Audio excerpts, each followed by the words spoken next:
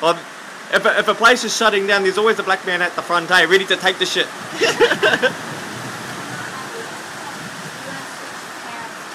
yeah, yeah. Roger's not here.